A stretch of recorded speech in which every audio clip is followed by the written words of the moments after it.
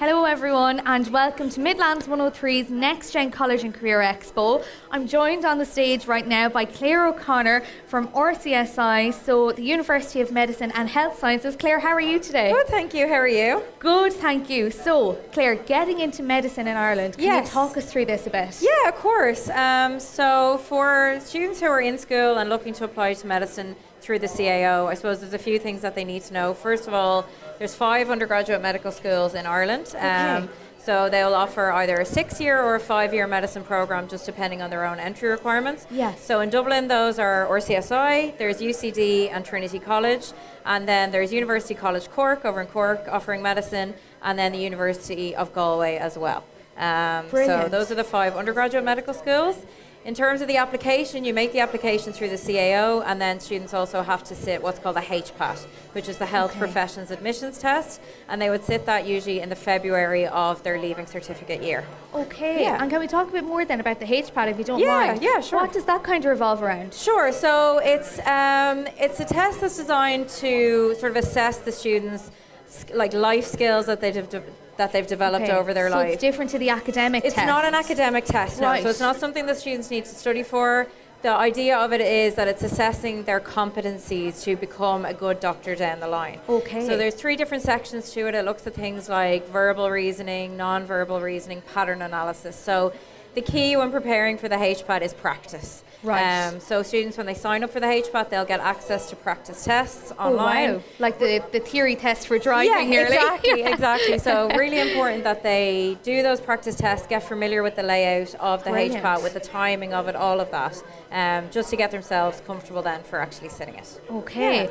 And then other than the HPAT, what kind of entry requirements would people be looking at? Yeah, so it would really like matriculation wise, um, you know, it depends on the on the co- on the university, but generally it's you know Irish, English, maths. Obviously, unless they have an exemption in Irish, usually a third language then, Okay. and then it would be the sciences. So in RCSI, um, we have a six-year and a five-year medicine track. Right. So for entry to five-year medicine, students need to have two sciences. So one being chemistry with a minimum of a H4, and then they need to have either physics or biology with a H4.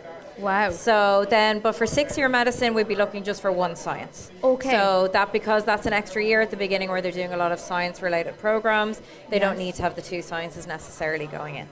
And then preparing for a career in the biopharma industry and advanced therapeutic technologies Yeah. at RCSI. Can we talk a bit about yeah, that of course. as well? So that's a, pr- a new program that was launched uh, a couple of years ago in 2022 Brilliant. in response to demand from the pharmaceutical and the biopharmaceutical sector in Ireland, which, as you know, is, is very large. It's a Yes. huge employer in Ireland.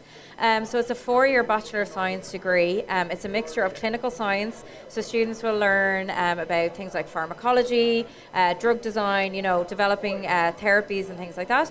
But they're also going to be learning about all the latest technologies and developments in the healthcare industry. So things like connected health, so like the Fitbits that we wear or heart Right. monitors, things like that. Okay. They're going to be looking at AI, precision medicine, which is you know a cutting edge field of medicine now where um, they're developing really tailored therapies for diseases, um, where you know it's not sort of a one size fits all approach. Say if they're treating um, a cancer patient, this is more tailored where they're looking at the actual makeup of the patient's disease and how they can treat that in the most effective way. Wow. So it's for students, that program will be for students who are interested in science, in maths and technology, who are interested in healthcare but maybe don't necessarily want to be working with patients on a day to day basis. Yes. It's more preparing them for a career in the pharmaceutical or the biopharmaceutical industry. Okay, Yeah. so there are different routes around things. Yeah. And that seems like a very modern, like advanced course and program for anyone who's For into sure. the technology side of Yes. things. Yeah. It Um, involves a work placement as well, which is great. So they get an Oh, eight month work placement in year three. So, Okay. you know, they're ready to hit the ground running now when they graduate. So you're getting Yeah. hands-on experience as well. exactly. That's fantastic. Now, Claire, as you know, here at Yeah. NexGen, we have students of all ages, and we also have mature entry students here Yeah. as well. So can we talk about alternative entry routes to the Absolutely. RCSI programs, graduate and mature entries? Yeah, yeah, of course. And, you know, that's something that we really do want to get across. And it's really important for students to remember that, you know, they can pin a lot on the CAO and on their leaving cert, but it's, you know, that's not, that's not the only way into their chosen career. And Yeah. it's really important to remember that. So all, you know, our courses, so medicine, pharmacy, physiotherapy, advanced therapeutic technologies, we have graduate and mature entry routes for all of those. Okay. So, for example, graduate entry medicine is a four year accelerated medicine degree that students can come into from any discipline. So once they've done a level 8 degree in any area, it could be history, it could be engineering, economics, whatever it Okay. is, they basically, once they get what's like a 2-1 or an upper second class honours in that degree, and then they sit the GAMSAT, which is more of a scientific admissions exam, Right. they can apply then through the CAO for that graduate entry route. Okay. Uh, graduate entry and mature entry, pharmacy, physiotherapy, advanced therapeutics, that's all direct application to RCSI, and that's for mature entry, it's a more holistic route, so it's looking at their life experience, their work experience. Okay. Um, so it's not based on leaving cert points or anything like that. We obviously look for them to meet minimum um, subject requirements, but they can also then present what's called an access to science program in lieu of the leaving cert. So there's Okay. loads of different access routes. The most important thing to do is if you're considering a career in healthcare, have a look at our website and look at the different entry routes that are there and give us a shout as well. Yeah. Brilliant. It's great to hear that there's so many different Yeah. ways around it. I suppose, like everything, you have to find your own path in it. That's it, exactly. Can we talk about pharmacy then, specifically at RCSI? Yeah, of course. Yeah, so pharmacy is a great career path Yeah. for students. It's a five-year degree um, Okay. in in Ireland. It's a five-year degree in any Yeah. of the pharmacy schools. The last year being a master's level qualification. So it means that students they sit their pre-registration exam at the end, and they're fully qualified pharmacists then upon graduation. Brilliant. And you know, there's a huge demand for pharmacists in Ireland. It's a very lucrative career in Ireland as Yeah. well. You know, students are coming out directly into into work, so they can work.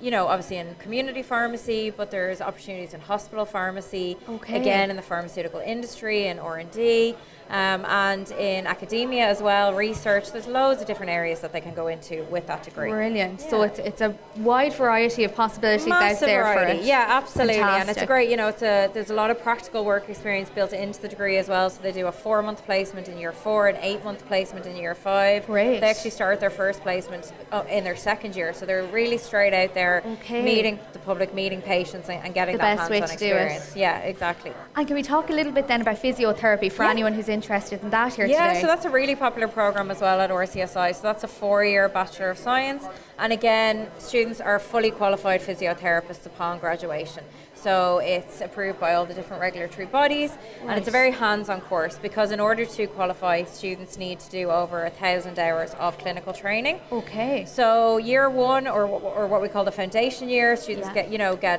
familiar with the sciences. They're learning about anatomy. Year two, Yes. then they move into what we call our movement lab, where they start working with patients. So we would bring in simulated patients. So these are members of the public that would come in and act as patients, so that the Oh, students wow. are starting to learn how to communicate with them, how to Brilliant. work with them, deal with them. You know the different exercises, all of that. And then years three and four, students will spend a lot of their time out on practical placements. So Okay. in hospitals, private practice clinics, rehab centres, all of that around the country Yeah. to get that hands-on work experience that they need. That is great. Yeah. Like that's the proper social experience Yeah. that you need when you're going into a job like 100%. this. Yeah, no, you need that patient interaction. Yeah. You need to know how to communicate with patients, how to work with them. And it's a great course, you know. And in the final year, they get an opportunity to learn a bit more about the different specialties within physio. Because Okay. obviously, I think you think physiotherapy sometimes, you might think injury, sport in- injuries, things Yeah. like that.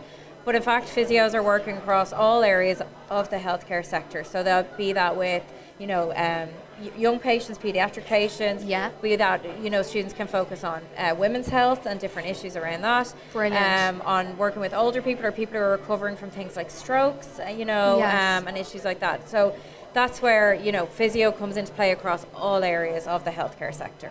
Brilliant. Yeah. It's great to hear the different career opportunities and the fact that everything is so wide. There's so Yeah. many possibilities. For Would anyone in the audience like to ask Claire a question?